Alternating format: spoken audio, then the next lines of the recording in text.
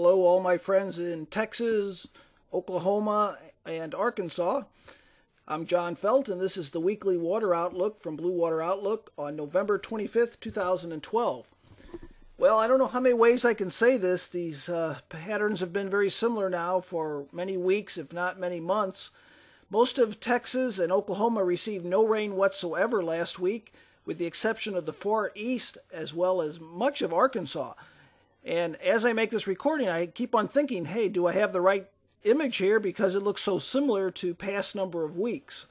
Um, what we see here is the normal amounts of rain. These are the normal days that it rains in the parts of Texas and the south, and generally three and a half to five and a half inches uh, are days that we get some rain. A little bit heavier in that green part um, over eastern parts of Arkansas, more like seven days or eight days in that region. Now, if we look at the percent of normal over the last week, with no rain, percent of normal zero, and typically we receive at least one day of rain over a week in November. And what we've seen here now for the last three or four weeks with no rain, we're well, running well below normal for the days of rain in November. I know that's no surprise to you because it's been very dry with the exception of Arkansas. Now, we do have some changes um, coming over the next couple weeks, and as we head into December, I'd like to talk about here. But first of all, this week, the jet stream, as we've seen for quite some time, is well to the north of our region. Early in the week, it's uh, more in the middle part of the nation, and then it pulls a little bit further north uh, early in, or later in the week. And there is a, going to be a dip in the jet stream that's going to bring a frontal boundary through uh, the middle part and the eastern part of the U.S and very similar to the last couple weeks, that's going to affect the far eastern parts of Oklahoma, far eastern parts of Texas, most of Arkansas before it moves off to the east. And that's going to be that pattern we've seen over and over again.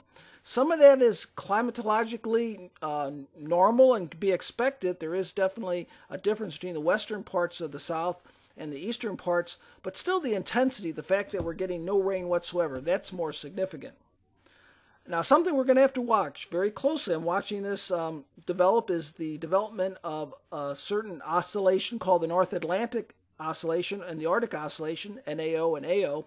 Oscillations are just differences of pressure. There's an imbalance um, between far northern Arctic um, regions and more temperate climates. And when you get these imbalances, the atmosphere is going to try to balance itself out, and that usually means that it's either going to be warmer or colder, and it can impact precipitation as well. Now, as we get into the end of November into early parts of December, what we see here, I have outlined in the red area here, is significantly prolonged uh, periods of the negative phase of both the NAO and the AO. Um, it's not only significant because it's going to be prolonged in time, maybe even going into the, at least the middle part of December, but it's going to be fairly significant. You can see here the Arctic Oscillation, how deep this gets compared to the last one in October that uh, influenced the weather and precipitation. So I think there's a high confidence that this is going to occur. Models don't go too far out, more than two weeks or so, in forecasting this. But the consensus of the models, that's the, the ones in the little squiggly lines in red, you can see almost all of them, if not all of them, are calling for a significant negative phase Arctic oscillation. And these are the patterns, a typical pattern we get when that cold air spills south. We have a dip in the jet stream, a significant dip in the jet stream over the eastern part of the U.S.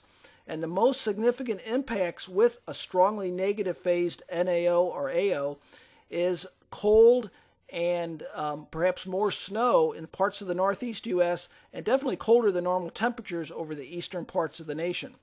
Over the south central part, we're right on the edge of the impacts with that. Now, the jet's going to dig south. That could enhance precipitation over Arkansas, um, perhaps again over far east.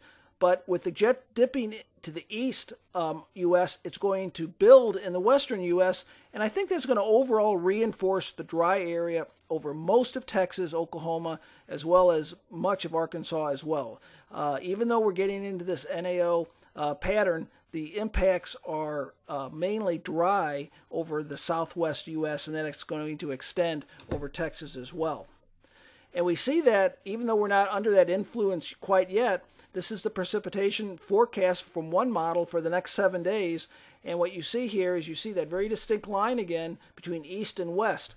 keep in mind that the trends of the models have been over forecasting rain uh, for the last month or so. Even though the patterns, the alignment have been pretty good, they've been over forecasting. Another thing keep in mind, I want you to keep in mind, is the fact that this back line here, uh, don't get too hung up on that.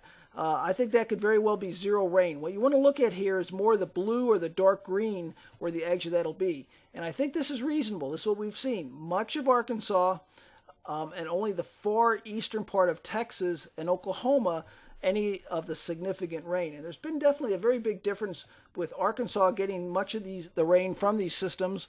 And even though it hasn't been heavy, there's been a modest amount with each one of these frontal passages. And you only have to go 50, 60 miles to the west, and there's been no rain whatsoever. And I've shown that on these. Um, this is trends and threats. Um, these red line here. This has been that persistent pattern of wet to the east or to the right of that line and dry to the west. And part of that is based in climatology, but I think again the extremes are significant here. That it's really gone from uh, closer to normal precipitation to the right of that line to well below normal to the west. So the outlook for this week, once again, well below normal precipitation, only 25% or less. Drought will persist over almost all of Texas except the very far east, much of Oklahoma, and then to the east of that line, um, Arkansas will be in the influence of that system, that frontal passage. A little bit of moisture there. Could get a quarter inch to a half inch of rain. Once again, a modest amount of rain. And then further off to the east, uh, likewise, similar amounts. Now, I put this in here. I'll put this in from time to time, and, and, and definitely this is for general type guidance. Um, give you some out, outlook uh, on when I might see a pattern change. So green is generally on the dry side.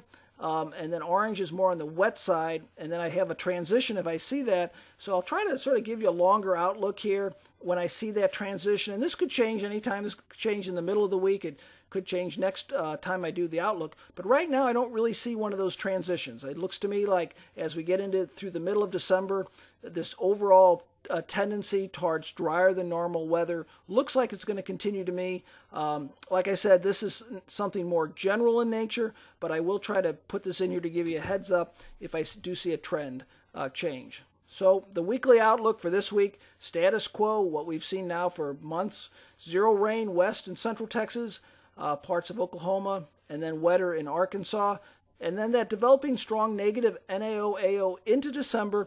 And I'll be watching that very closely. I'm not going to say that won't have any impact right now, but I will be watching that to see how much of that will slide off to the west and perhaps uh, affect parts of Arkansas and maybe eastern parts of Texas and Oklahoma.